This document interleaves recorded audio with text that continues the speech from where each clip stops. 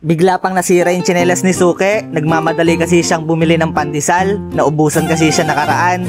Buti na lang ngayon, nakadalawang beses siyang bumili. Okay guys, so third day natin. Tapos ito na lang yung naiwan.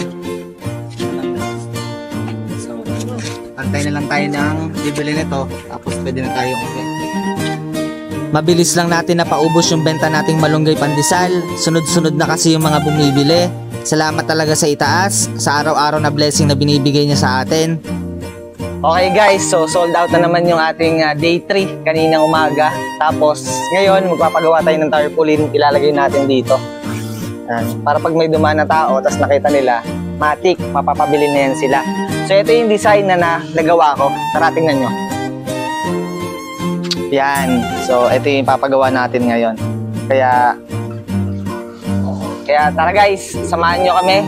Papagawa tayo ngayon, punta tayo sa printing shop. Let's go. Walking distance nga lang pala yung printing shop dito sa amin, kaya mabilis lang ako nakapunta dito. Tapos, ang bilis lang din namin nakuha. Okay guys, so ito na yung pinaprint natin. Balay dalawa. Ilalagay natin yan dito ngayon. Eh, gamitan lang muna natin ng ano, double-sided. Tapos tingin natin kung uubra ba. Palpak pa yung una ko naisip na gawing pandikit. Double-sided kasi yung ginamit ko. Dumidikit naman siya, pero hindi ganun kadikit. Kaya ginamitan ko na lang ng iba. Okay guys, hindi kinaya ng ano, double-sided, natatanggal. So mas, gamitan natin na mas madikit. Oh, natatanggal.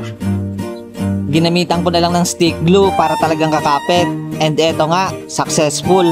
Konti-konti ko na nakikita yung improvement sa negosyo natin. Kaya talagang binibigay ko na yung 101% ko. Oo, maliit pa lang to, pero papunta na rin tayo doon.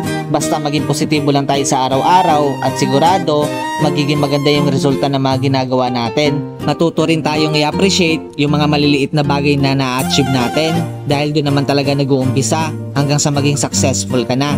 Sipagan mo lang talaga araw-araw at dapat focus ka sa mga ginagawa mo para lahat ng mga mangyayari ay nakaayon sa mga plano. So, okay na guys, eto na nakabit na natin. So, dito yung isa. Tapos, uh, dito rin yung isa. Yan. So, sa ngayon, ganito lang muna tayo. Konti-konti guys. Tapos, lalaki din yan. Okay? All goods.